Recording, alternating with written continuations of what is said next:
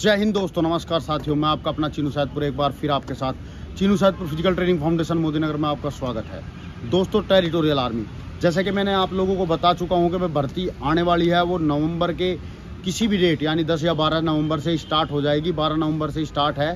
तो भर्ती से पहले एक बहुत सी कमेंट्स आ रही हैं भाइयों की। दोस्तों, वीडियो पूरी देखना, चैनल को सब्सक्राइब कर लें, क्योंकि इसमें जानकारी आपको बहुत अच्छी मिलने वाली है कि टेरिटोरियल आर्मी के लिए बहुत सी कमेंट आ रही है, बहुत से मैसेज आ रहे हैं कि भाई, आप ये बताएँ कि दोबारा दसवीं वाले और दोबारा जिनके आधार कार्ड में करेक्शन है, दोस्तों, वो जाएँ या ना जाएँ, उनका भर्ती में क्या होगा? तो दोस्तों, आप इस वीडियो को लास्ट तक देखें। मैं आप लोगों को बता दूँ, अगर किसी ने दसवीं दोबारा की है, देखो, ऐसा होता था पहले कि जब तक आधार कार्ड नहीं था तो हम कितनी भी दसवीं कर लेते थे तो हमारा डाटा जो आगे नहीं जाता था। जब हमारा डाटा आगे नहीं जाता था तो हम कितनी भी दसवीं करने के बाद भर्तियाँ देख लेते थे। अब क्या होता है दोस्तों, हम अगर जब दसवीं दोबारा करते हैं तो आधार कार्ड में भी वायु उम्र होनी चाहिए और हमारी दसवीं में भी वायु उम्र होनी चाहिए। जब जाके मान्य होता है, मान लो अगर तुमने आधार कार्ड ऊपर ऊपर से चेंज करा लिया और दसवीं दोबारा कर ली। दसवीं दोबारा करने के बाद आप लोगों को लगा कि भाई आप लोग आधार कार्ड चेंज करा लेंगे। तो दोस्तों, ऐसा बिल्कुल नहीं होता है अब। क्योंकि जो आधार कार्ड है, उसमें कुछ लिमिटेशन हो गई है।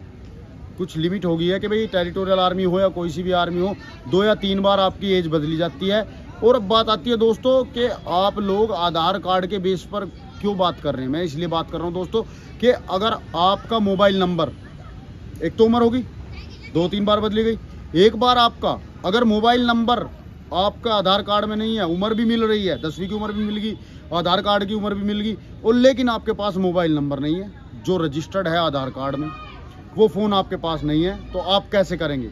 तो दोस्तों, मैं आप लोगों को बता दूँ, आपको वही अपना नंबर लेके जाना है, वही अपना फ़ोन भर्ती में लेके जाना है कि भाई जो आपका रजिस्टर्ड है, नहीं तो आप लोग भर्ती से बाहर कर दी जाओगे। मैं अभी बता रहा हूँ ये बात, ये क्लियर है।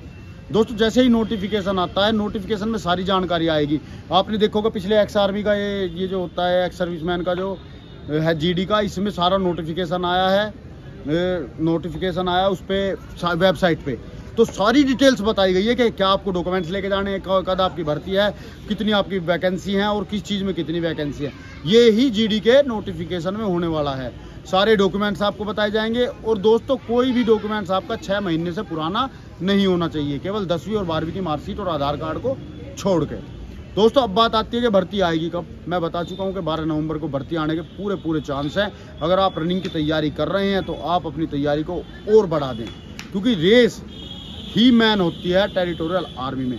तो दोस्तों, अगर आप लोग तैयारी करना चाहते हैं और आपको कोई लोकल से हैं तो आप यहाँ पे भी आ सकते हैं Chinu Saidpur physical training foundation Modinagar Instagram ID है चीनू सैदपुर फ़िज़िकल जय हिंद, जय भारत, वंदे मातरम।